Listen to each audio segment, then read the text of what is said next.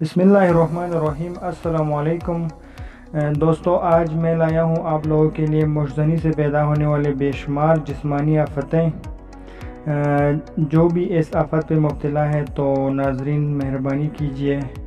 ये वीडियो आखिर तक देखें। और इसके अलावा, अगर आप हमारे चैनल पर नए हैं तो अपने प्यारे हाथों से हमारा चैनल सब्सक्राइब करें और साथ में ही बेल का आइकन क्लिक करें। नाजरीन आज मुर्जनी के बारे में बहुत ही इम्पोर्टेंट टॉपिक लाया हूँ। मुर्जनी का सबसे पहला हमला इंसान के दिल पर होता है और दिल को आहिस्ता आहिस्ता कमज़ोर कर देता है। मुर्जनी की कसरत गुर्दे, मैदा और जिगर तबाह कर देती है।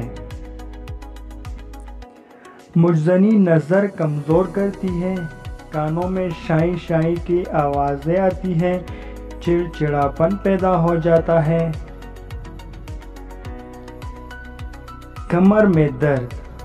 मुजनी से कमर और पूरे बदन में सख्त दर्द होता है। आँखों में गड़े चेहरा जर्द वख्शियाना शक्ल। ढीलापन उजवी खास में। जड़ कमज़ोर शादी के काबिल न रहना। और एक तहकीक के मुताबिक पागल हो जाना।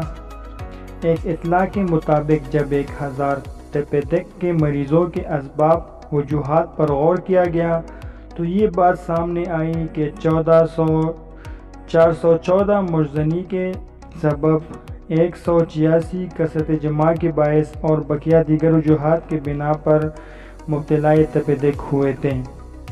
124 पागलों का इम्तहान करने पर मालूम हुआ इनमें से 24 अपने हाथ से मनी खारिज करने के बायस पागल हुए थे।